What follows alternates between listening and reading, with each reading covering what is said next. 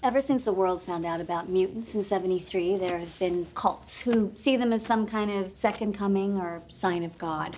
I was tracking one of them. They call themselves Ashir en Sabah Nur, named after an ancient being they believe to be the world's first. World's first what?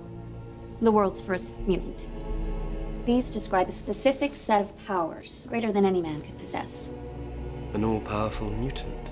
Exactly. And wherever this being was, he always had four principal followers, disciples, protectors he would imbue with powers. Like the four horsemen of the apocalypse. You got that one from the Bible. Or the Bible got it from him.